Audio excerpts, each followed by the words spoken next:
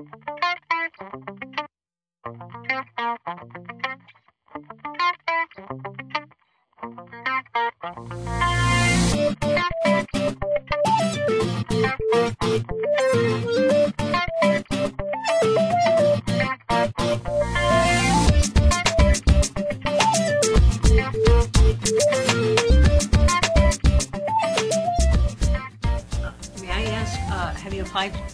University of Rochester, St. John Fisher, Nazareth, and Um, Up- Upper? St. John Fisher had very good two openings a year back. But, so you did apply? I did. Okay. Probably I didn't come into their B list, Well, one of the, A list, whatever they call it, uh, because I didn't have a teaching experience. That's how they go and recruit. I didn't even get a response from them. well, I would, uh, what Steve said about uh, substitute teaching is kind of like being an adjunct. Uh, Had you considered becoming an adjunct at any college? I did, but when I saw the opening, I did apply. Well, uh, I think the perseverance is to, you know, just not send in the the resume, but to follow it up with a phone call, to actually uh, schedule an interview with the chairperson, uh, to be aggressive. Uh, Because the bottom line is that um, it's very difficult for us to ignore a piece of paper. It's less easy to to ignore a person. Uh, BOCES, I would actually recommend that you call BOCES, and I don't know if you live on the east side or the west side. Okay, so call the BOCES uh, number one over in Fairport and ask someone there to assess your transcript. Chances are good, you probably only need student teaching and uh, like foundations of education and maybe a foreign language. Uh, You're probably very close to being certified. Um, In New York State, how many days can they teach as a substitute without certification? Uh, 120. Okay, so you could only teach as a substitute for a minimum of, or a maximum of 120 days. So it really would be to your best interest to have BOCES look at your resume, or look at your transcript and make suggestions.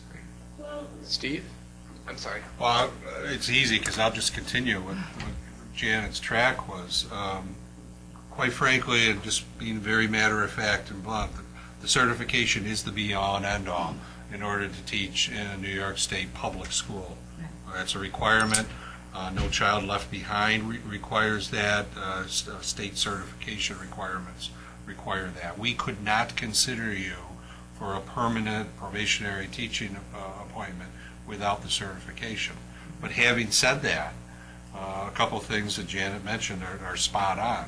Uh, Your degree would lend itself toward the content area where you would just probably need the education courses. You would need to be student te, you would need to student teach, which could potentially be accomplished also through substitute teaching. You'd have to contact the BOCES certification officer uh, to assist you with, with that kind of thing, because she is the State Education Department's certification officer for our region. Uh, So, and I don't, I don't, I know a lot about it, but I don't know enough, because it's, it it really is individual. She would review the transcript, say you would be shy this, this is the areas you would need, uh, this is how many days you would need to substitute in order for it to count for student teaching. But you are quite correct, if I were to come across your resume, I could not consider it for a teaching position. I could only consider it for a support staff or a substitute position. So could I follow up one question? Yeah, sure. So the transcript you mean is submitting all my, you know, certificates to the New York State and then equivalency or something?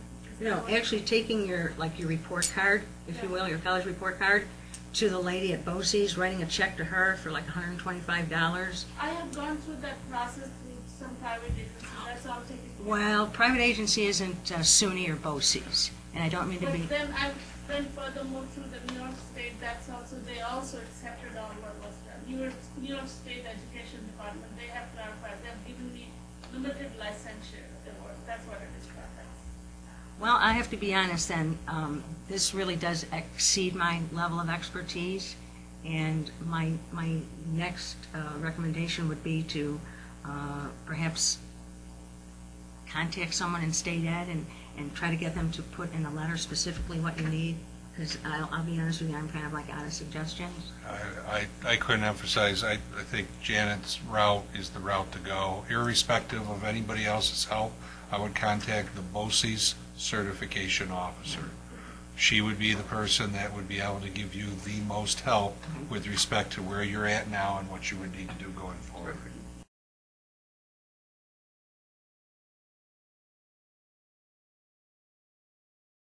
Do you have a So master's the- degree? I have two minutes. Yeah, sure, Uh, without question. I know that MCC, we like to hire uh, experts or teachers. Experts in skill areas and teachers in uh, like the humanities. So without question, depending upon what your background is in terms of engineering, yeah, we have a whole HVAC and also uh, STEM, uh, physics, all sorts of programs.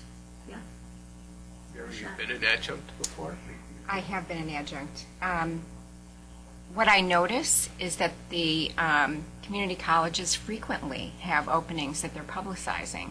And um, the only thing that I saw that I thought would be kind of a challenge is sometimes, and I don't think this is true of MCC, but somewhere out there, they were asking for a philosophy of teaching. Oh, wow. So you have to, you know, express yourself and your interest, which um, with some thoughtfulness, I think uh, anyone who has passion for teaching could do. So that may be the only thing that stands in the way because um, you sound as though you have the background, and Janet is confirming it, that, um, you know, would work. Yeah, I, I have applied at some, there are, there's certainly a limited number of adjunct jobs that are posted like an MCC, and I've applied for, but I've heard it's a So, maybe, maybe the question is, how do you apply for adjunct jobs that maybe aren't posted? Yeah, I have a commentary on the posting process. Um, you haven't heard from me at all that you should be dealing with job boards, and that's because I don't believe in them. I, I don't think the electronic means of finding someone is helpful very much to the employer or the employee, but we're kind of stuck with it. What I promote is you need to be known by the folks that you want to work with. So, and that's the that's the arena we're moving into. I, I uh, know of a, an executive recruiter who actually, and his name is on the um, the sheet that I gave you, Greg Taylor, used to do executive recruiting, and because LinkedIn now and all the other means of networking are helping people find jobs, he's kind of shifted to become the LinkedIn expert. Um, and, and most people who are doing career counseling are saying that job boards have probab- some probability of helping you find a job, but it's a low probability. So you really need to be networking and you need to be connecting and joining and moving because you want to be in a position when, when something comes up, people think, oh, I know who this person is. I just met them last week. Or they sent me, and they were in the paper, they wrote an essay on the topic or something. So you get identified in a different way. Um, If I could just ask a clarifying question before we go back, we've, we've mentioned the word adjunct a couple of times, and that may be a term that not everyone's familiar with. So could we define that a little bit? What do you mean by adjunct in higher education, adjunct professor? You're typically teaching uh, one uh, course or two. Um, It's a part-time position. Um, You have a master's degree, or as Janet said, an area of expertise that is um, technical, and there's a certain pay range for it. It's not uh, tenured. Yeah, and uh, basically, as Steve would say, it's per diem, it's uh, as necessary, it's dependent upon enrollment. Uh, The reality is that it's, uh, it's more easy to hire an adjunct person because we don't have to pay them benefits, and um, uh, on the students, it's uh, somewhat unfair because you're not required to keep office hours. So it's, it- it's beneficial to, to each party differently. Uh, Ultimately, again, I have to be honest with you, um, some adjuncts are viewed as substitutes, and they never get hired because there must be a reason. Uh, However, what's your alma mater? Would you- Is it close by? Well, I have a master's degree from RIT Well, I- I'd be knocking on their door and just say, hey, listen, you know, I've got this degree that I got from you guys, and is there an opportunity for me to use it? Uh, Let them, you know, say no to you. Again, I'm a- I'm a big proponent of, um, I've heard the word no once or twice in my life, so if I hear it once more, it's it's not a big deal.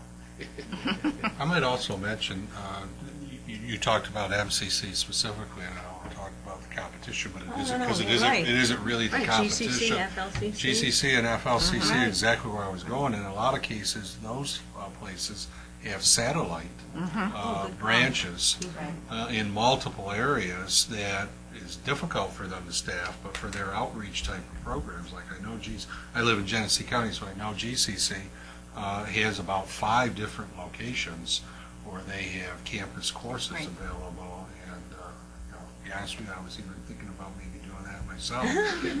uh, down the line, but-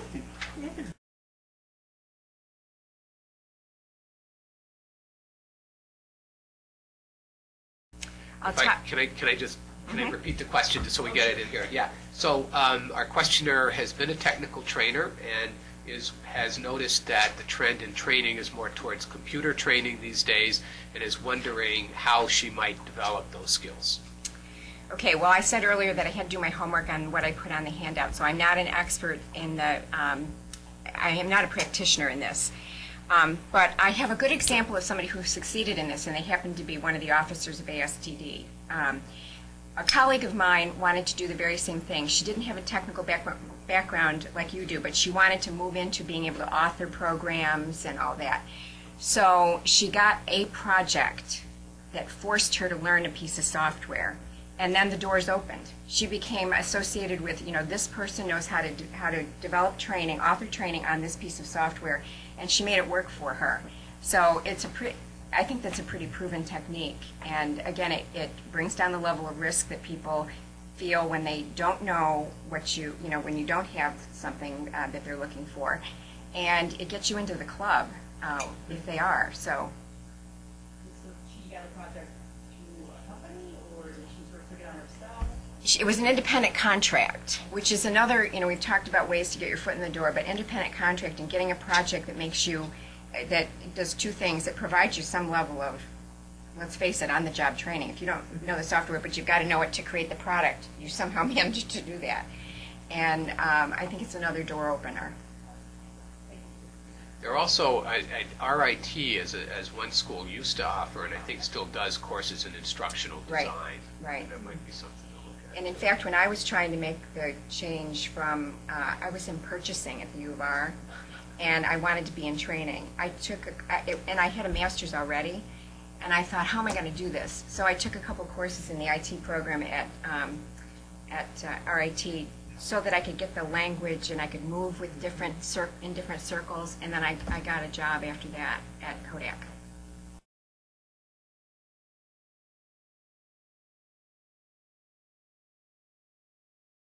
One fingerprinting is enough. We'll transfer, it'll be on what they call your Teach website, uh, and it'll be transferred. We'll have access to that. Uh, For support staff folks, because they're hourly employees, we've made the decision, we'll pay for the fingerprinting. Uh, Actually, the individual uh, pays for that, and they uh, complete a voucher, and we reimburse them.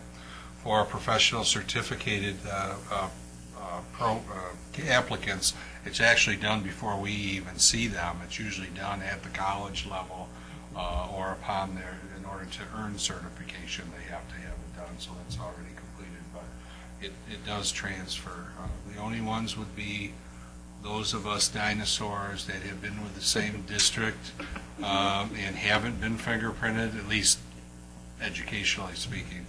And um, Do you want to go into that a I little should have said, I said, no, no, no. Uh, But then, um, uh, if if I were to, let's say, relocate to another district, I would need to be fingerprinted for that purpose.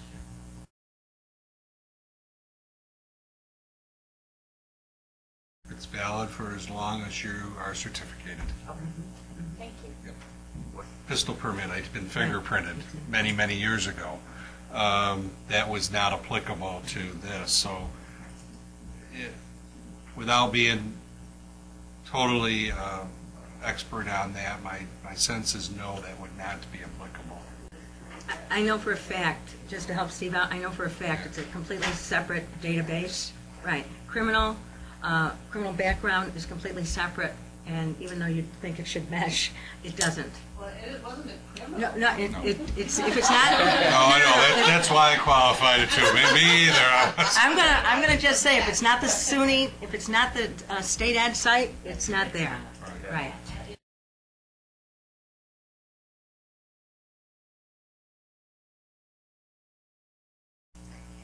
When I was hiring, I would say we weren't hiring entry level. We were hiring, you know, uh, five years experience sounds very familiar.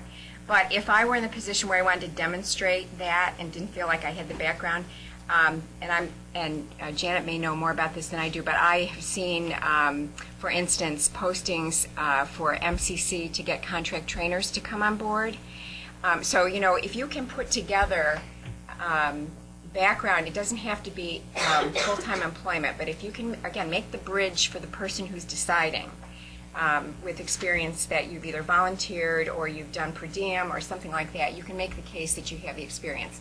Having said that, there's a little problem in hiring if, you know, if the poster has said, I, what's required is a master's degree or whatever, and they do not hire to that, there are, uh, there are opportunities for charges of discrimination. So that's why people are so, one of the reasons people are so careful with both creating the posting to allow for the right background, but not limiting the field. But once it's out there, they're really obligated from a legal standpoint to hire to that.